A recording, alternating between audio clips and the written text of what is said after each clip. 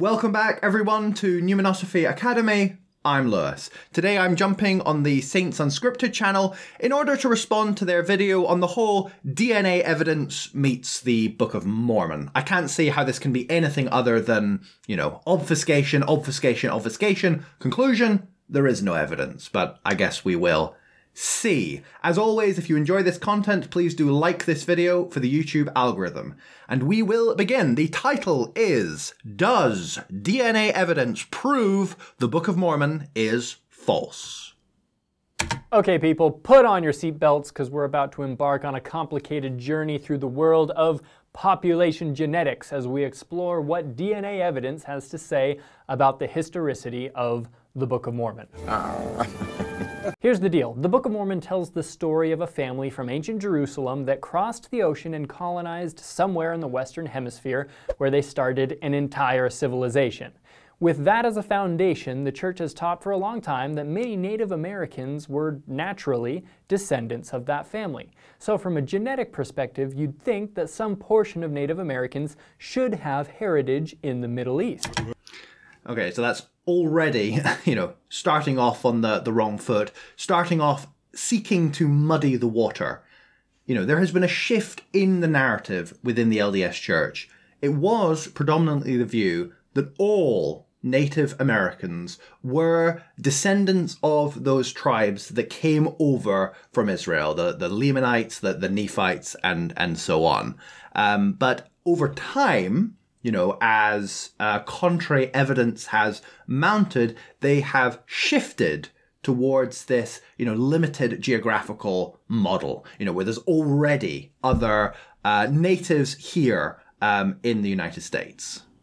That makes sense to me. And here's where things get sticky for a lot of people. DNA research on Native American origins shows that their ancestry is largely Asian, not Middle Eastern. Largely, understatement, uh, all, all DNA evidence um, that we have found so far suggests that um, the, the natives in America, in all of the Americas, North and South, all, you know, connect to uh, Asia, Northeast Asia, etc. No Europe, no Africa, no Middle Eastern, certainly, all Asia.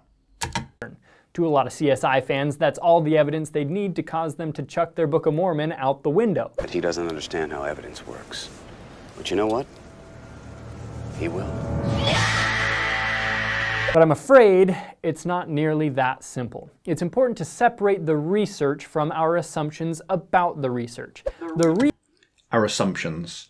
Okay, so again, this kind of falls back on God of the Gaps type arguments. So if you come at this with your presuppositions already in play that, you know, what the Book of Mormon claims to be true is true, um, that these uh, tribes of Israel really did, you know, sometime, um, whenever, you know, come across uh, an ocean and arrive either in North America or in, you know, Central America or wherever you want to place this thing, then it's not a case of, you know, showing that the DNA points to that, all you have to do is show that it's not impossible for the DNA to not point towards that. And that therefore leaves a little gap.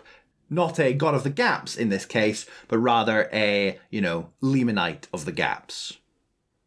Research says that Native Americans, at least whatever sample they drew from, have heritage in Asia, and I'm not disputing that. The assumption critics pull from that is therefore Lehi isn't real and the Book of Mormon is false.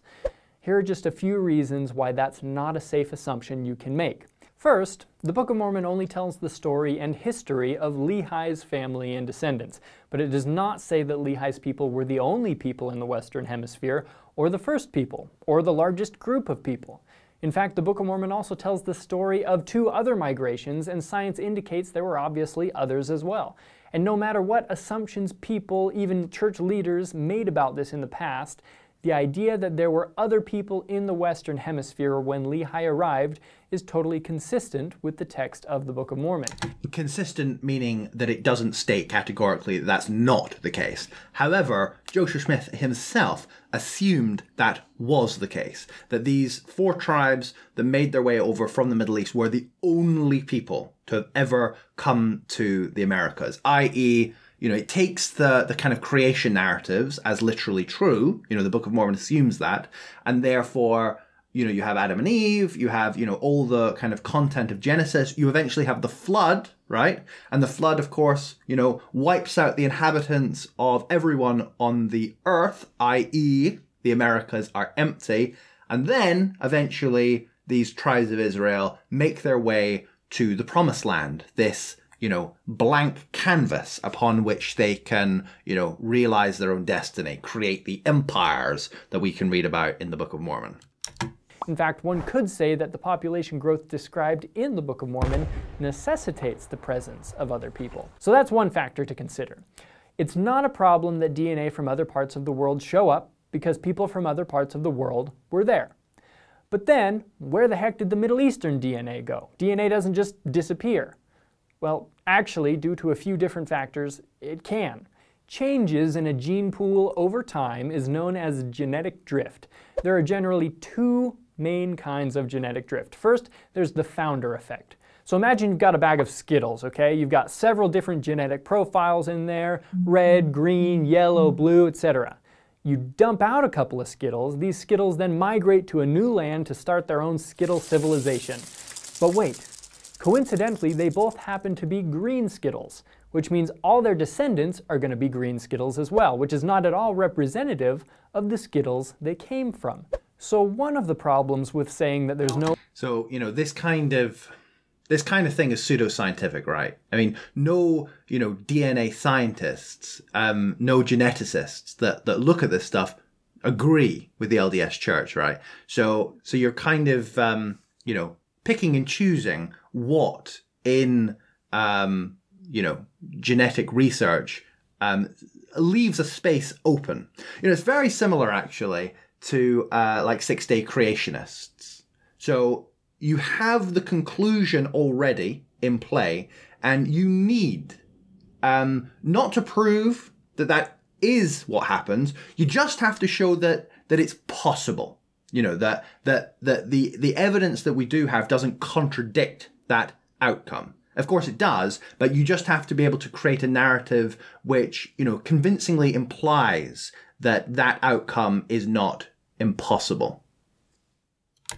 Israelite DNA in Native American populations is that we don't know what DNA we should be looking for, and Lehi and Sariah's DNA may not be representative of so-called Israelite DNA. That's the founder effect. The second factor contributing to genetic drift is called population bottleneck. Essentially, this is when a catastrophic event simply wipes out DNA profiles altogether. So in our Skittles example, now we're in the Americas and we've got Lehi and his greens along with all these other Skittles. Unfortunately, your great Aunt Deborah discovers the bag of Skittles and eats almost all of them. Only a few are left in the bag. But they're reds and yellows. Blue and green were all devoured. Can you think of any examples of the bottleneck effect in Native American history? How about when Europeans arrived, bringing along smallpox and wiping out up to 95% of the population? Or the many bloody battles between Native Americans and the European colonizers? Oh, yeah. Oh, yeah, cool. If you want to hear it from people smarter than me, read these quotes. On top of that, we read in the Book of Mormon about cataclysmic natural disasters. So what all this amounts to is basically just a kind of convoluted way of saying, yeah, there's no evidence. But that's okay, guys. There's no evidence. But but but don't lose your faith. It's fine. But yeah, there's no evidence. You see, the problem is that um, it's not just this one piece of evidence, right? Like, you need to think about archaeological evidence, anthropological evidence, um, you know, the language evidence. You know, is there any uh, evidence that there is um, Jewish or, or Hebrew um, literary influences in Native American language? No, there isn't.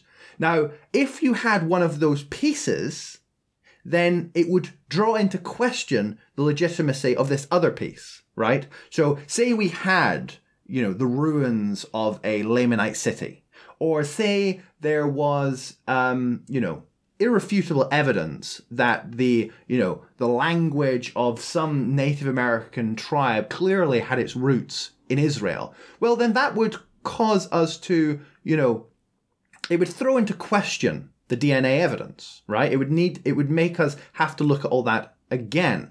But the problem is when you line up all these different strands of evidence, they all point to the same thing that there is no evidence that what the Book of Mormon claims is true. Rather, you know, as I've said in previous videos, all the evidence points to the fact that the Book of Mormon is a 19th century creation, you know, and you know, that's my bias coming through, I suppose you could say. You know, I'm basically on board with um, you know, Dan Vogel's pious fraud, you know, theory, and that obviously places the Book of Mormon squarely in the 19th century. So make of that what you will. And massive wars that took countless lives. In Mormon 8, the Lamanites have hunted my people, the Nephites, down from city to city and from place to place, even until they are no more, and great has been their fall.